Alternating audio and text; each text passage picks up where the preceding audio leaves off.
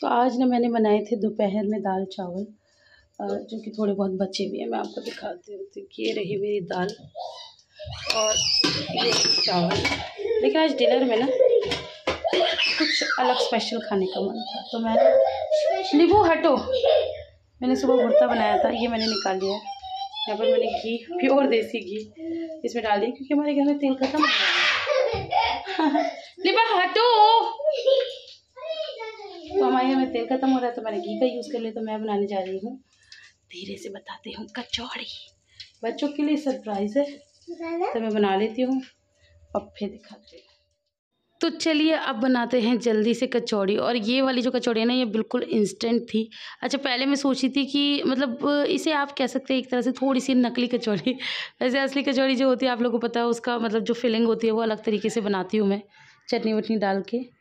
लेकिन अब जो मन कर रहा है ना तो फिर मैंने कहा, अब इसे ही बना लेते हैं। अब मैं मतलब पूरा डीपली वो नहीं कर रही हूँ, क्योंकि मैं ना बहुत ज़्यादा थक जाती हूँ। अच्छा मुझे ना काफ़ी लोग ट्रोल भी करते हैं। ज़्यादातर लोग आजकल बहुत पता नहीं क्यों इतने ट्रोल करने लगे हैं। तो वो यही कहते हैं कि, तुम अपने मायके में रहती हो तो बड़ी सही रहती हो, है ना? तब तुम्हें कहीं दर्द तकलीफ़ नहीं होती। और तुम ससुराल में आती हो, फिर तुम्हारा ये रहता है, मेरे इतने काम, कामों को रोती रहती हो, ये करती हो। तो मैं, मुझे लगता है कि बोलने वाले ज़रा नहीं सोचते। या तो उनका खुद का मायका नहीं होगा, या भैया पता नहीं क्या है उनकी कहानी, मैं तो नहीं जानती। हाँ मेरी कहानी सब आप लोग जानते हो। कहने का मतलब ये है कि ये तो हर लड़की के साथ होता है। मतलब ससुराल में ज़्यादा एक्टिव रहती है क्योंकि रिस्पॉन्सिबिलिटीज़ होती है, भाई, हम नहीं करेंगे तो कौन करेगा? और शायद फिर वो हमारे नखरे भी जो माँ बाप झेल सकते हो कोई और नहीं झेल सकता। आप कैसे सोच सकते हो कि कोई और झेल लेगा? एटलीस्ट मतलब मेरे जो हस्बैंड है वो तो नहीं झेल पाएँगे। होते होंगे और लोग जो मतलब बहुत ज़्यादा मतलब प्यार करने वाले या ध्यान रखने वाले तो वो शायद हर तरीके के ना करे झेले। लेकिन मेरे साथ ये केस है नहीं तो मैं तो भैया अपनी लाइफ अपने तरीके से जीती हूँ और फिर मायके में बहुत सारे सुख मिलते हैं, वो तो माँ का घर है। तो वहाँ तो बहुत सारी चीज़ें होती हैं जो कि करते हैं और इन माशा वहाँ भी बहुत इन्जॉय करके आते हैं। लेकिन हाँ ये बात है कि काम करने की आदत छूट जाती है। फिर जब यहाँ आते यहाँ बहुत सारा काम दिखाई देता है और फिर लगे लगे लगे लगे, वो सारा काम निपटाते निपटाते ना, फिर वही आप बैक टू नॉर्मल लाइफ आ जाते हो। और नॉर्मल रूटीन में आ जाते हो।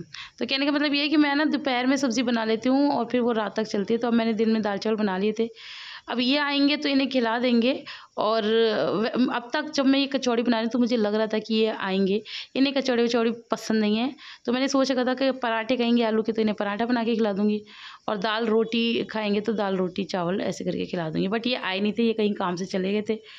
तो इन्होंने हमें बताया भी नहीं, वो तो जब हमने रात को फ़ोन करा तब हमें पता चला कि ये रात को नहीं आएँगे। तो खैर बहरहाल यहाँ पर मेरी कचौड़ियाँ बन रही हैं। अभी तो मैं फ़िलहाल बच्चों की बना रही हूँ और फिर इसके बाद मैं इसी में ना थोड़ा सा नमक मिर्च एक्स्ट्रा बढ़ा लूँगी और फिर अपनी बनाऊँगी। अच्छी बनी थी मतलब। ऐसा नहीं है कि आप खा नहीं सकते, बहुत टेस्टी थी। बस ये था कि वो वाली जो बिल्कुल ही जब हम कचौड़ी के स्टाइल में बनाते वो तो बिल्कुल ही ताबड़ होती, उतनी ताबड़ ना हो के अपने अच्छी थी, मज़ा आया खा के। तो बच्चे बहुत ज़्यादा खुश हो गए थे। बच्चों को ये था कि वाह मम्मा, ये तो बहुत अच्छा सरप्राइज़ है। क्योंकि मेरे सभी बच्चों को कचौड़ी पसंद है। एक्चुअली मुझे पसंद है ना। तो इसलिए मेरे बच्चों को भी पसंद है। हस्बैंड को पसंद नहीं है तो इस चीज़ में कोई भी उन पर नहीं गया। उनको तो बस सादा खाना पसंद आता है कि बस सादा खाना होना चाहिए, उन्हें ज़्यादा नॉनवेज भी पसंद नहीं है। ज़्यादा तला भुना भी पसंद नहीं है, बस सादा खाना खाते हैं, सादा जीवन भी जीते हैं। यहाँ पर ना मैंने थोड़ा हिसाब से बनाई है, हिसाब से मतलब मैं आपको समझा देती हूँ। ये दो मैंने आयरा के लिए बनाई है हैवी फिलिंग के, क्योंकि आयरा माशाल्लाह बड़ी है, वो हर चीज़ खा लेती है, मसाले वसाले वो सब खा लेती है। ये मैंने लिबा के लिए थोड़ी सी पतली बनाई है थोड़ी सी मतलब इससे कम फिलिंग की, और बड़ी सी, लिबा एक ही खाएगी, ठीक है? इसके बाद मैंने शोनू की बनाई है, जिसमें बिल्कुल फिलिंग नहीं है हालाँकि सोनू भी मिर्चू का खाती है, मैं उसको खिलाती हूँ दाल राइस अपना। थोड़ा थोड़ा बहुत ज़्यादा नहीं थोड़ा थोड़ा मिक्स करके मैंने इसे मिर्च इंट्रोड्यूस करा दी है। हालाँकि मैंने लिबा और आयरा को नहीं कराई थी, लेकिन सोनू को मैंने करा दिया ताकि मेरी सोनू सब कुछ खाए। तो लेकिन फिर भी मैंने इसके लिए पूरी बना दी है, मैंने ये मसाला नहीं भरा अब मैं इसमें ज़्यादा मिर्ची डाल दूँगी, अब मैं बनाऊँगी अपने लिए। मेरे पास बेले भी बस चार बचे हैं, चार कचौड़ी मेरे लिए बन जाएगी। बस हमारा हो जाएगा फिर डिनर यहाँ पर अभी तेल पक मतलब गर्म ही हो रहा है, मैं फटाफट से इसमें मिर्च मिलाती हूँ और अपना काम करती हूँ। तो बस बच्चों की तो यहाँ पर मैंने बना ली है, आप लोगों को दिखा भी दिया। अब मैं बस अपना जो मेरा फिलिंग है, उसके अंदर नमक, मिर्च और थोड़ा सा तेज़ कर लूँगी। इससे बहुत अच्छा स्वाद आता है चटपटी बनती है। एक्चुअली जो बुरता होता है ना, ये मैं सैंडविच के लिए बना के रखती हूँ। गर्मियों में तो सर्दियों में तो आप लोग को पता है, मैं पराठों का हमेशा रखती हूँ, क्योंकि हमारे घर में पराठे बहुत खाए जाते हैं। मेरे बच्चे भी शौक से खाते हैं, और फिर मैं भी खा ही लेती हूँ, और हस्बैंड को भी पसंद है। और गर्मियों में मैं मतलब ये भुरता छोंक के रखती हूँ, ये भी हमेशा मिलेगा आपको। क्योंकि बच्चों को सैंडविच बहुत पसंद आता है तो मेरे पास हमेशा ये सैंडविच के लिए भुरता होता है। यहाँ पर हमारा खाना बन चुका है। मेरी कचौड़ियाँ हैं सोनू की पूरी विद चाय, आप लोग को पता है। हम लोग को चाय ज़रूर चाहिए। तो ये बच्चे रेडी हैं। बच्चे, आपको कैसा फील हुआ? मम्मी ने सरप्राइज़ दिया। बहुत अच्छा मज़ा आया। देसी घी की कचौड़ियाँ खा रहे हैं आप लोग। खुशबू कितनी अच्छी आ रही है ना? हाँ मिक्स कर लो। चलो खा लो। अब हम लोग भी खा लेते हैं फिर आपसे मिलते हैं खाने के बाद। और एक बच्चा हमारा ये रहा।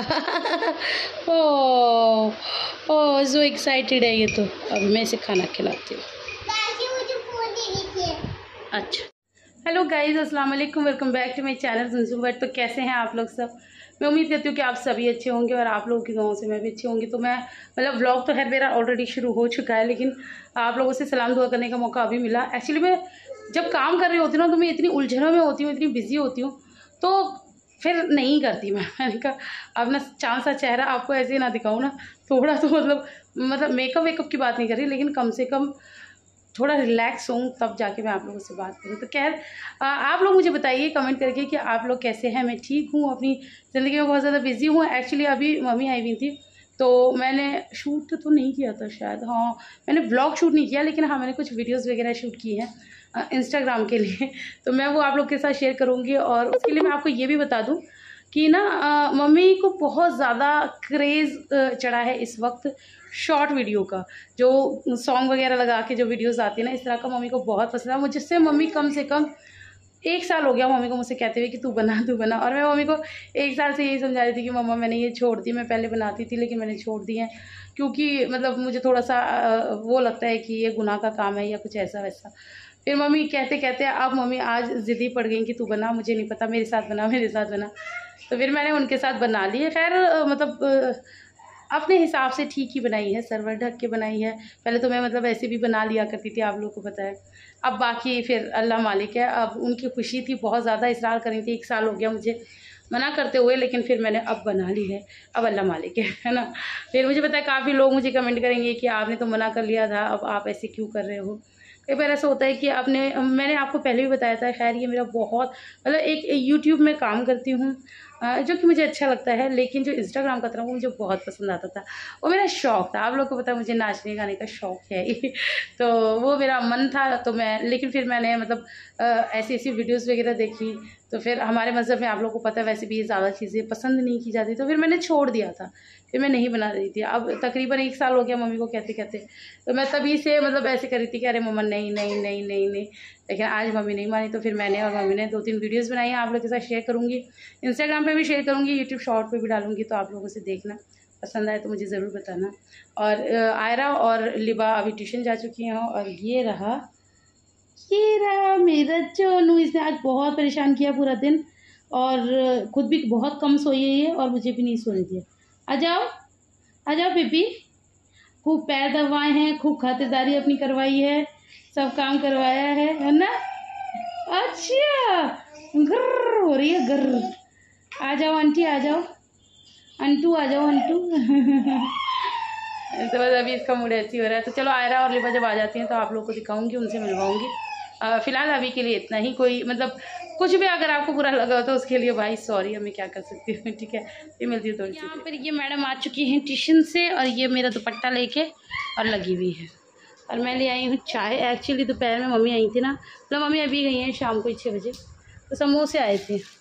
तो बस ये बच्चों ने तभी खा लिए थे। मैंने नहीं खाए थे क्योंकि मैंने ना जिस वक्त मम्मी आई थी मैं उस वक्त खाना खा रही थी। हालाँकि तब ये गर्म गर्म थे बट फिर मैंने खाना खा लिया था। तो ये बच्चों ने आधा बचाया था मेरा तो पूरा एक ही है। मुझे पता था फिर ये शाम को भी खाएँगे। अभी भी कोई बहुत ज़्यादा ऐसे ठंडे नहीं हुए हैं। खा लिए जाएँगे ठीक है? तो मैं इन बच्चों को दोबारा से भी खिला देती हूँ और मैं भी खाती हूँ। आप दोबारा खाना चाहती हैं? हाँ, हाँ, ओ अच्छा जी मैडम अच्छा जी मैडम।